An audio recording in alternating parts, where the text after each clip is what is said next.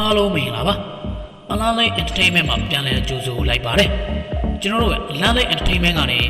အစီအစဉ်အလားအသစ်တွေကိုစင်ဆက်မပြတ်တင်ဆက်ပေးနေမှာဖြစ်လို့ subscribe like share လေးတွေနဲ့အားပေးကြဖို့မေတ္တာရက်ခံချင်ပါတယ်အားလုံးကိုကျေးဇူးတင်ပါတယ်လုပ်ပေးတဲ့အတွက်ကျေးဇူးတင်ပါတယ်ဟုတ်ကဲ့ခုချိန်မှာတော့ကျွန်တော်တို့အစင်နဲ့ဖြစ်ကြပြီဆိုလို့ရှိရင်တော့ကျွန်တော်ရဲ့အစီအစဉ်လေးကိုစလိုက်ကြရအောင်ဗျာဒီကောက်ကျွန်တော်တင်ဆက်ပေးမယ့်အကြောင်းအရာလေးကတော့ အထူးသဖြင့်အရွယ်ရောက်တဲ့လူများစိတ်ဝင်စားစရာလိင်ပညာပေးစီစဉ်ဖြစ်ပါတယ်။လိင်မဆက်ဆံမဲ့အချိန်ကြာကြီးနေမိကြမယ်ဆိုရင်ဘာတွေဖြစ်လာမလဲဆိုတဲ့အကြောင်းအရာကိုတင်ဆက်ပေးသွားမှာဖြစ်ပါတယ်။အချိန်အကြာကြီးလိင်မဆက်ဆံမဲ့နေမယ်ဆိုရင်ခန္ဓာကိုယ်ကြီးမှာဘာတွေဖြစ်လာမလဲ။ကောင်းတာတွေဖြစ်လာမလား။ဆိုးတာတွေဖြစ်လာမလား။လေ့လာကြည့်အောင်။လိင်ဆက်ဆံခြင်းဟာမျိုးဆက်ပွားများနိုင်ဖို့ကိစ္စကိုအသာဖယ်ထားမယ်ဆိုရင် စိတ်ကိုပျော်ရွှင်စေပြီးတော့ကျမ်းမာရေးကိုအထောက်အကူပြုနိုင်တဲ့ကိစ္စတစ်ခုလည်းဖြစ်ပါတယ်။လူတိုင်းမှာလိန်စိတ်ခံစားချက်စိတ်ဆန္ဒရှိနိုင်ပေမဲ့လိန်ဆက်ဆံဖို့အခွင့်အရေးကတော့ဇတူရကြမှာရမှာဖြစ်ပါတယ်။အမျိုးသမီးတွေဟာများသောအားဖြင့်လိန်ဆက်ဆံခြင်းကိုပွင့်လင်းစွာလက်ခံလိုက်ဖို့ခက်ခဲတတ်ကြပါတယ်။တချို့ကမဆက်ဆံခြင်းလို့ညှင်းပယ်ကြတာဖြစ်နိုင်တယ်လို့တချို့ကတော့အခွင့်အလမ်းမသာလို့ ဆက်ဆံခွင့်မရကြတာမျိုးလည်းဖြစ်နိုင်ပါတယ်။ဘာသာရေးလူမှုရေးနဲ့အခြားအကြောင်းမျိုးမျိုးကြောင့်တသက်တာလုံးမေထုံအမှုကိုရှောင်ကျဉ်ကြသူတွေလည်းရှိကြပါတယ်။ဒါတော့မှဒီနေ့ခေတ်ဟာလေခင်ခက်ကာလတွေထက်ပိုပြီးပွင့်လင်းမြင်သာလာတာမို့လိမ်မှုကိစ္စအပေါ်အတင်းအကျပ်ထိန်းချုပ်မှုတွေဟာရခင်ကထက်တော့နှဲပါလာနေပါတယ်။ဘယ်လိုပဲဖြစ်ဖြစ်ပါအမျိုးသမီးတယောက်အချိန်ကြာကြီး လိမ်မဆက်ဆံမဲ့နေထိုင်နေမိမယ်ဆိုရင်ခန္ဓာကိုယ်မှာသိတာထင်ရှားတဲ့အပြောင်းအလဲတွေလက္ခဏာတွေပြသလာတတ်တယ်ဆိုတာကိုတော့သိနာလည်ဖို့လိုအပ်ပါတယ်။အထူးသဖြင့်တော့ခုလို COVID-19 ကပ်ဘေးကာလမှာလိင်ကိစ္စနဲ့ကင်းဝေးနေသူတွေအများအများရှိနေကြပါတယ်။ဒီလိုလူတွေအတွက်ရည်ရွယ်ပြီးတော့ဒီ season လေးကိုတင်ဆက်ပေးလိုက်ရခြင်းလည်းဖြစ်ပါတယ်။ရုပ်ပိုင်းဆိုင်ရာတက်ရောက်မှုများကိုလေ့လာကြည့်ရအောင်။အမျိုးသမီးတယောက်အချိန်ကာလကြာမြင့်စွာ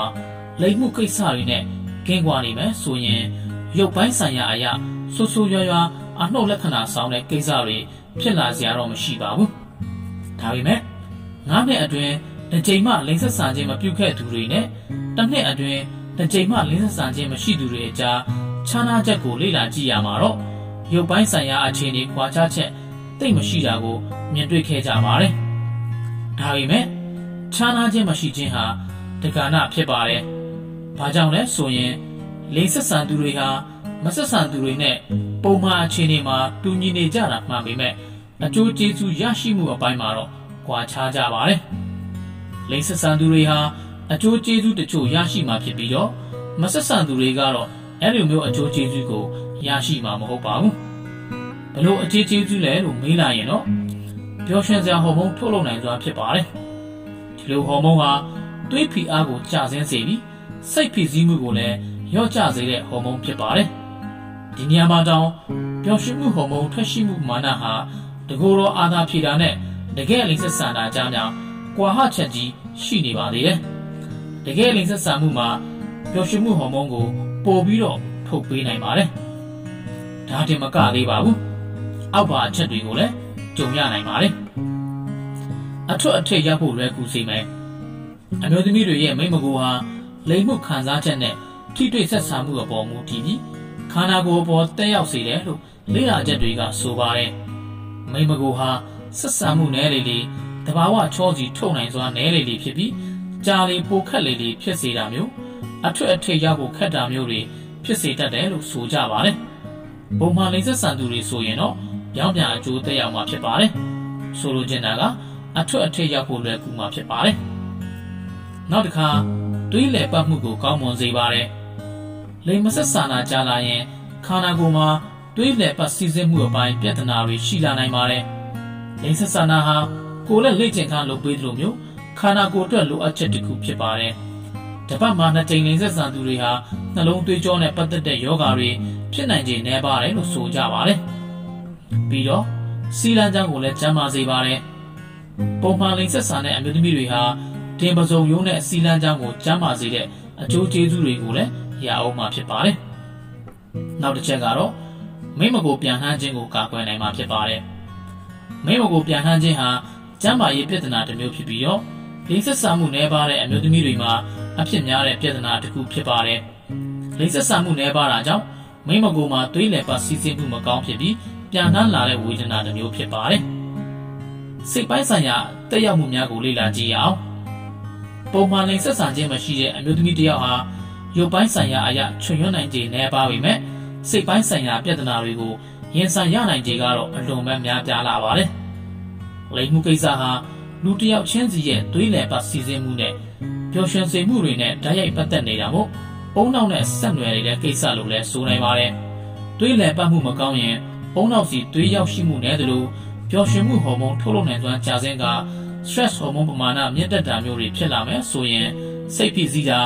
စိတ်ဓာတ်ကျတာဝမ်းနည်းလွယ်တာနဲ့ဒေါသထွက်လွယ်တာမျိုးစိတ်ပိုင်းဆိုင်ရာပြဿနာတွေရင်ဆိုင်လာရနိုင်ပါတယ်။ဒါကြောင့်လည်းလိင်ကိစ္စစိတ်ဝင်စားမှုနည်းပါးသူတွေအနေနဲ့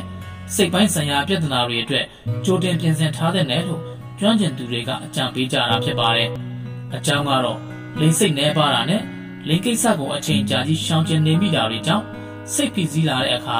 အခြားသောနောက်ဆက်တွဲပြဿနာတွေအဖြစ်အဝလွန်တာတွေးတိုးတာအိမ်မပြောတာနဲ့နှလုံးရောဂါတွေဝင်လာနေတာကြောင့်ဖြစ်ပါတယ်။ခြုံငုံပြောရမယ်ဆိုလို့ရှိရင်လိမ်မှုကိစ္စဟာတဘာဝဖြစ်စဉ်တစ်မျိုးဖြစ်တာကြောင့်အတင်းအကျပ်ထိမ့်ထုတ်ရှောင်ကျဉ်တဲ့အရာမျိုးတော့မဟုတ်ပါဘူး။တစ်ဖက်မှာလည်းတွေ့ကြရလူနဲ့ဂျုံတလို့နှီးနယ်တာမျိုးကလည်းမှန်ကန်တဲ့လျော်တဲ့အမှုချင်းမဟုတ်ပြန်ပါဘူး။ လိမ်မှုခန္ဓာကူးစက်မှုယောဂါတွေအန်ဒီရယ်ကိုစိုးရင်ဖို့လည်းလိုအပ်ပြန်ပါတယ်။ဒါကြောင့်မှန်ကန်ပြီးစိတ်ချရတဲ့လိင်ဆက်ဆံမှုအစီအစဉ်တွေကို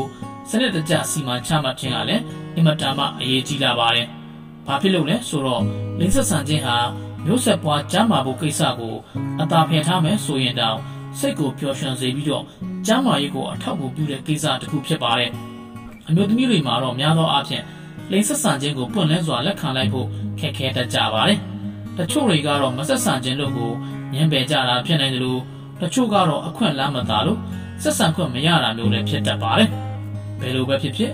အမျိုးသမီးတယောက်အနေနဲ့အချိန်ကြာကြီးလေမဆက်ဆံမဲ့နေထိုင်မိမယ်ဆိုရင်ခန္ဓာကိုယ်မှာတိတာထင်ရှားတဲ့အပြောင်းလဲကြီးတွေဖြစ်ပေမဲ့စိတ်ပိုင်းဆိုင်ရာမှာတော့အပြောင်းလဲတွေရှိတတ်ပါတယ်